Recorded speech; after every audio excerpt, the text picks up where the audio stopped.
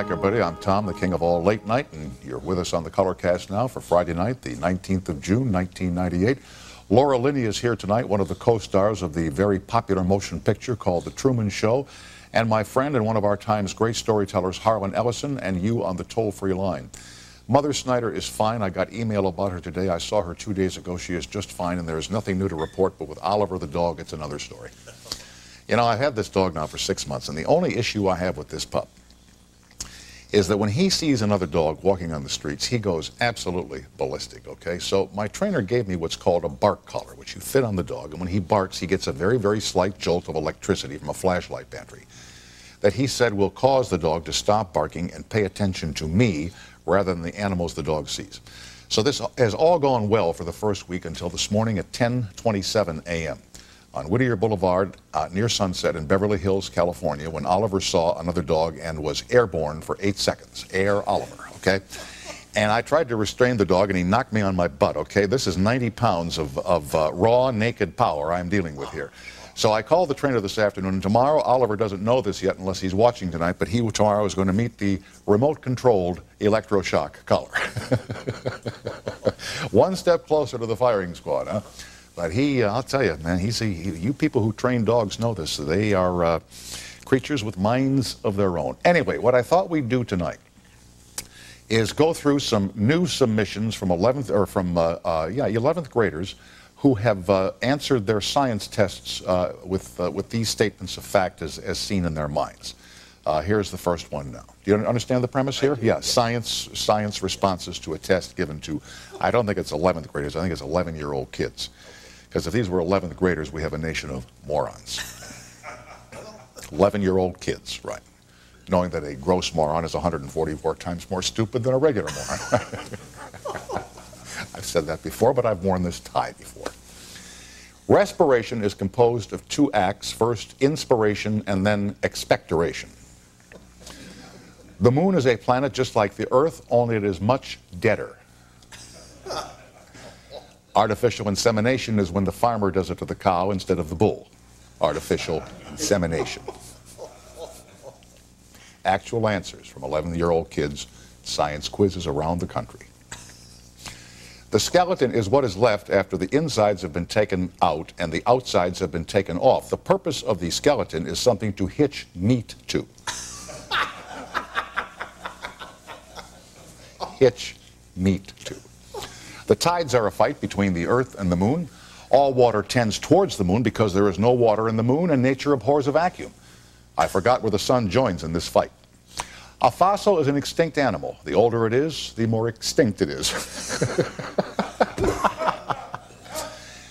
Many women believe that an alcoholic binge will have no ill effects on the unborn child, but this is a large misconception. Actually, that makes a little bit of sense, doesn't it? Uh, a, a liter is a nest of young puppies. Rhubarb, a kind of celery gone bloodshot. Vacuum, a large empty space where the Pope lives.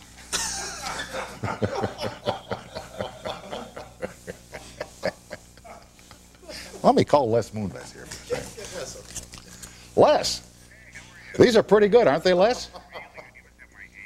Yeah, yeah, the writers all worked all day today, Les, yeah. All right, all right, you can't talk to me that way, Les. Bye now. Les says hi. To prevent contraception, wear a condominium.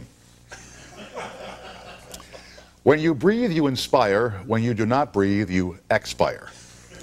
When you smell a gas with no odor, it is probably carbon monoxide, except in our studio, yeah. and I believe this is the last one. Nitrogen is not found in Ireland because nitrogen is not found in a free state. Actual answers from 11 year old kids on science exams all over the country. Laura Linney is here tonight, one of the co-stars, uh, along with Jim Carrey in The Truman Show, which is now playing in theaters and drive-ins everywhere. And then uh, the world's best storyteller, Harlan Ellison, and you on the toll-free. I'm Tom. You're watching CBS, and thanks for catching our pictures as we fly them through the air.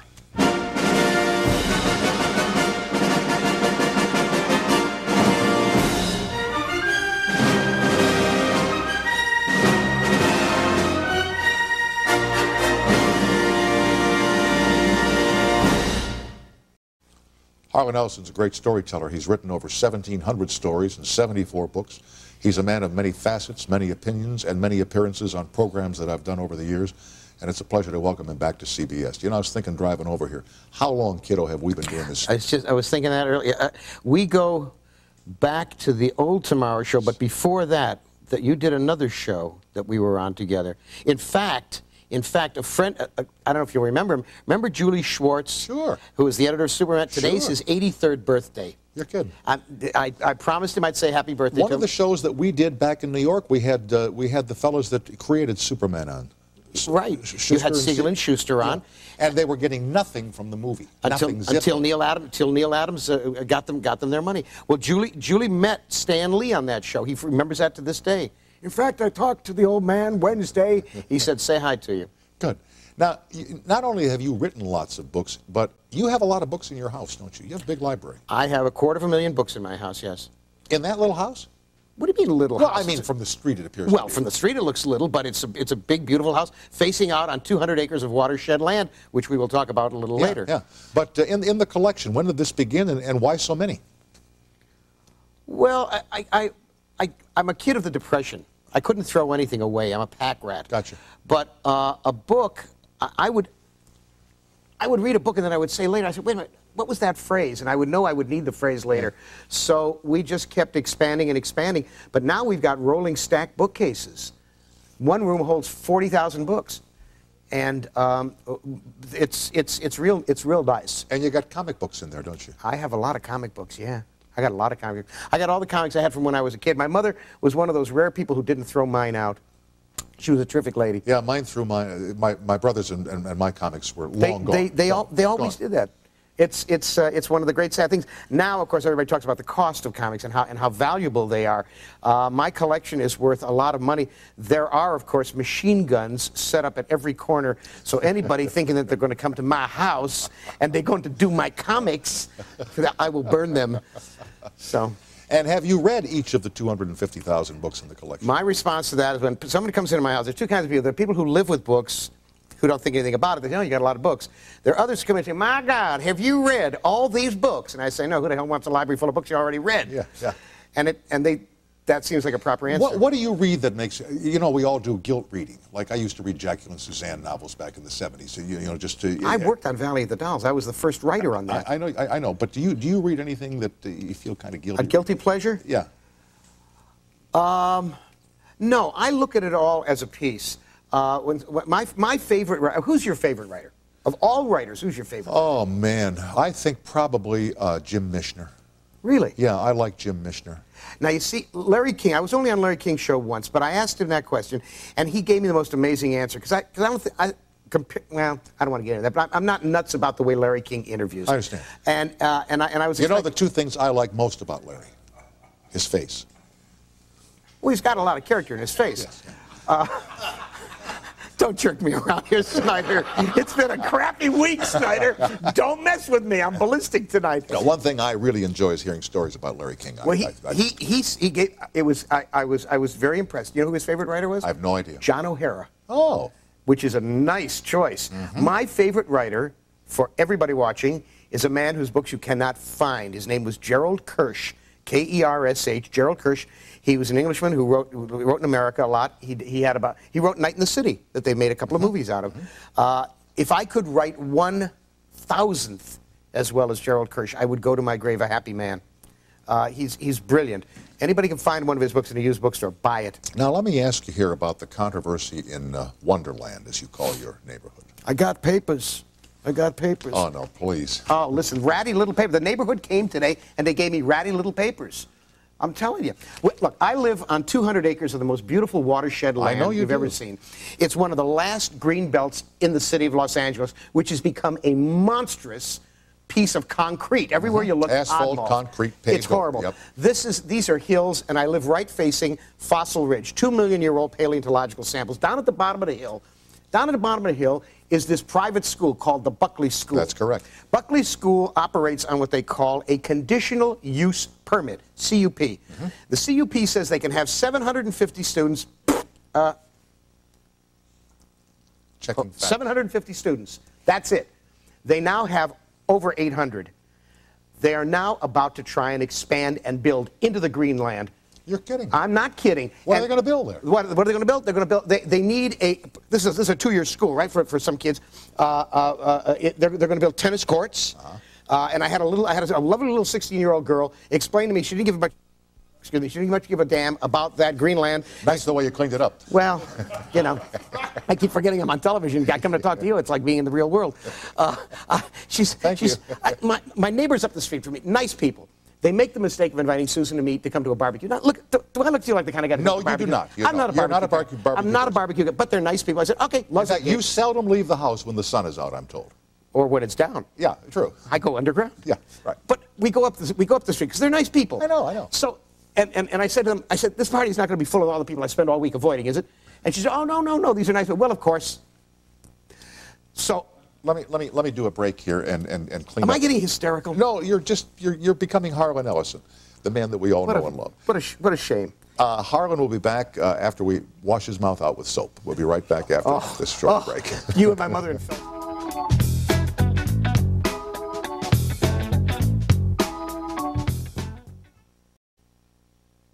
They don't don't start with me, Ellison. You know, you do your little books, I'll do my little TV show, Ah. okay? Let me just show you a picture here of the view that Mr. Ellison enjoys from one of the windows of his manse uh, here in Los Angeles. See? Pristine. It's on a mountaintop. It's in the middle of everything. We got deer down there. It's one of the last areas where the animals can still Could we see it for just a little longer, please, while he talks about it? You know, It's, it's, it's gorgeous. What you're looking at is the San Fernando Valley, and that is Fossil Ridge and Oak Canyon. It's, it's all riparian vegetation. Animals live, I mean, wonderful, wonderful animals that come up and they crop the trees, and it's a beautiful and little so, area. like, where in that picture is the tennis court going to be? Well, down at the bottom, um, well, I could show down, down at the bottom, you see that big building? Not That, anymore. and I'm not allowed to show this either. Okay, they, they are expanding this thing. I mean, I know what the people in America don't, there's people out in Kankakee who don't give a damn. That's correct. They must care. They must care about this because we need them to get to Michael Feuer. We got this councilman, Michael Feuer, and he's sort of on the fence. He's examining. We don't want to examine. We want them to be stopped. They got this school, and it is 96,000 square feet Uh-huh. in the Greenbelt. They've got a conditional use permit they've had since the 40s or 50s for this nice little school. Now they want to expand it to How many other people? 167,000. How many other people in your neighborhood, in Wonderland, as we call it, are, Worry about this? Uh, uh, join you in this crusade? Well, uh, uh, what about the 16-year-old that didn't uh, that, that didn't give a Well, she's not from our neighborhood. She's one of the students down there. She was invited to this party. She and her parents were invited to the party. So I'm sitting there, stuffing my face with a cheeseburger, which my wife allowed me to have that one night. And, and, and she says, I go to the Buckley School. And I'm imitating it. She doesn't sound like that, but, but she's a typical 16 year old kid, very nice little kid. Mm-hmm. She says, I go to the Buckley School. I said, Yeah, we're about to have a war with you guys because we don't want you to expand. She says, Well, we're going to win. And her father, her father says, Yeah, we're going to win. And I thought to myself, you're going to win, sucker. You're not going to win anything because you're a dead man. I'm going to kill you and your wife and your kid right here now. Anyhow, I dragged her down the street to my house with her father chasing along behind. God forbid I should rape the little kid, right? And I left the door open. He comes running in, and I opened the, and I show her. I said, "Look at this land. This land, Edgar Rice Burroughs had parties. uh, You know, had, had picnics." And she said, "Who was he?" She said, "Edgar Rice." I said, "You never heard the name Edgar Rice Burroughs?" I said, "Wait a minute, Tarzan. The name Tarzan." She said, "Didn't he write a poem?" I said, "Yeah, he wrote a poem." I thought this kid really needs a school down there. She doesn't need a tennis court. She wasn't learning too much in the school. No, the Buckley School is not teaching them much, and she needs uh, she needs this performing arts center. She needs her tennis. Well, court. if anybody on our I staff- beg people, please, please write to Michael Feuer, Councilman Michael Feuer in Los Angeles. Even if you live in Alberta, Canada, write to Michael Feuer. Tell him, please, not to let the Buckley School expand. Please, I've never asked you for anything else. Anybody on this show who wished to send their child to the Buckley School, out of the question. Here's Kyle on the toll free in Ypsilanti, Michigan. Hello. Yes, uh, hello, Mr. Allison. Let me ask you something in Ypsilanti. Are you going to be calling up the office of Councilman Michael Feuer in Los Angeles off of it. and saying, don't let that school expand? Get Are off, you? Get off of it. Go ahead. If you give me his phone number, I No, will. we don't have No, it. I'm not going to give you his We're- damn phone number. Look it up. I understand that uh, several years, several decades ago, you ran with a gang in Brooklyn. Yeah, way back when. What was your most intense experience during your hands-on research? Somebody tried to knife me to death. I got a, uh, I got a bailing hook scar here, which if I hadn't, if I hadn't been wearing a leather jacket, would have ripped off my arm. Uh, it was, um, it was high intensity. I, uh, this was, this was one of the great stupid things I did in my life. Uh, I had, I had absorbed Hemingway's admonition that you should never write about what you don't know. So I get to New York, and I said, uh, there, there was a writer at the time named Hal Elson. Hal Elson. He was writing juvenile delinquency novels, and I liked them a lot. So I said, well, I'll join a gang and I'll, I'll write this novel. So I went over to Red Hook in Brooklyn and I joined a gang and I ran with them for about 10 weeks and almost got myself killed. But uh, Rough crowd, though, huh? Oh, very mean, yeah. very mean, very Yeah. mean. A lot meaner now. A lot meaner now. Nobody had Glocks in those days. They had zip guns, they had switchblades, grab shake knives. But uh, you can get killed just as easily with a grab shake knife than you can, uh, you Yes, know, you with, can. A, with a Glock. Yes, you can. Yes. you can. But the project produced two books. Four books.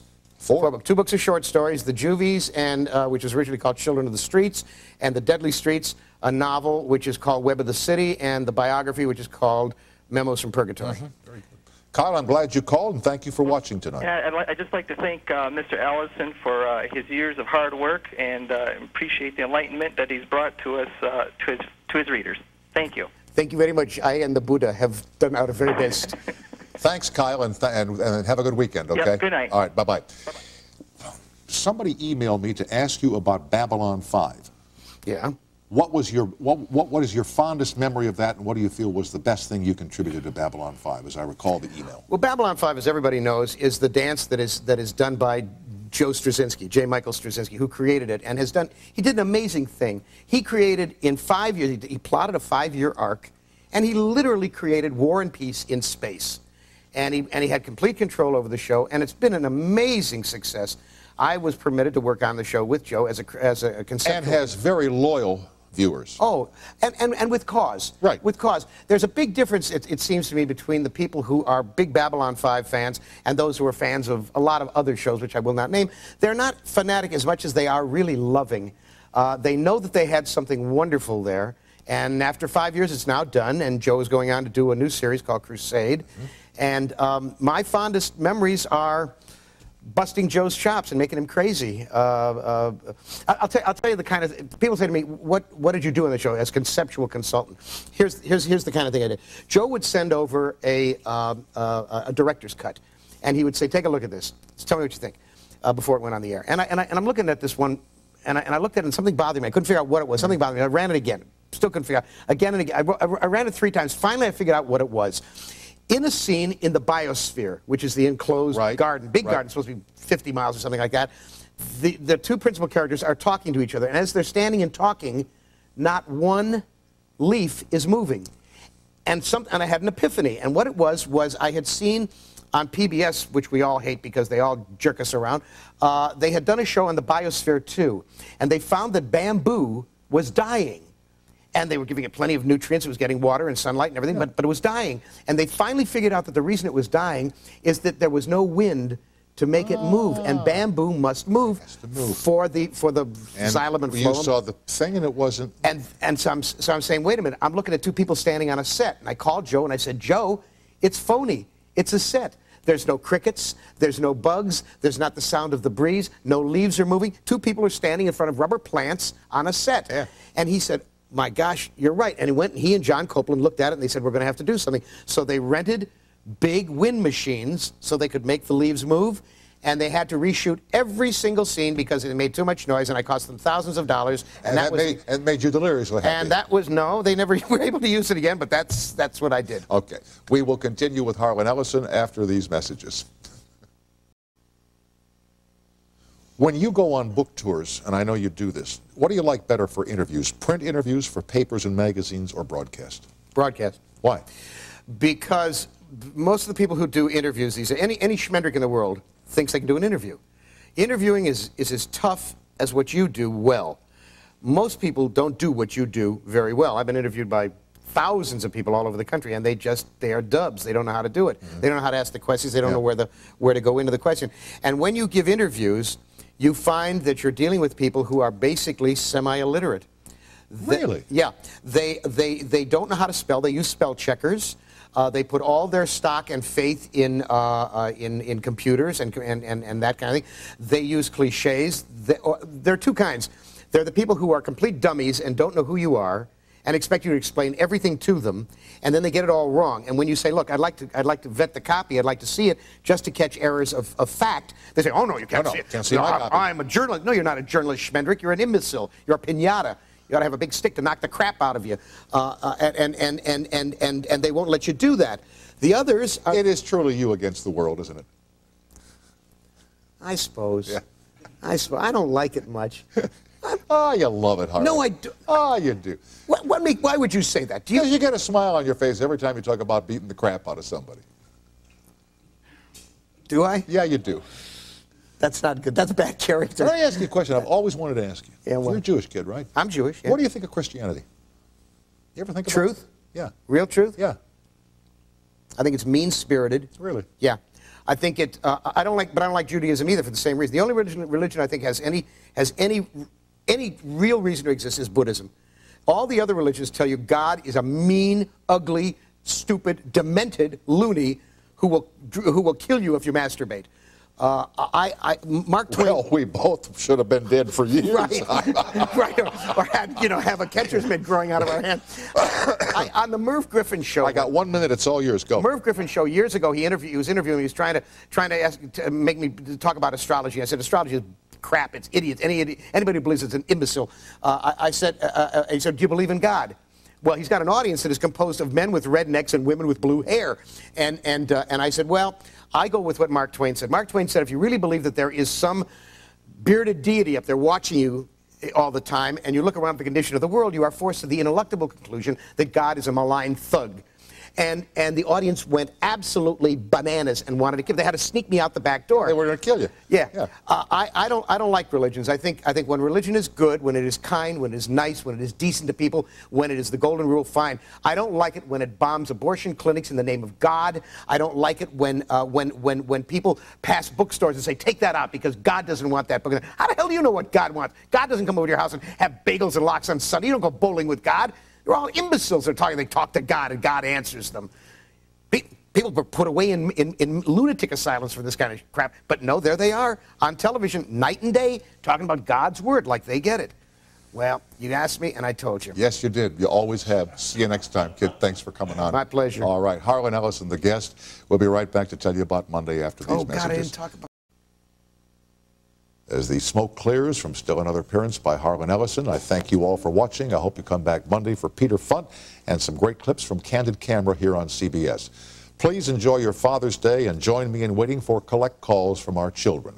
Uh, if, ignor- if ignorance is bliss, a lot of people are walking around in orgasm. Have a good weekend, everybody.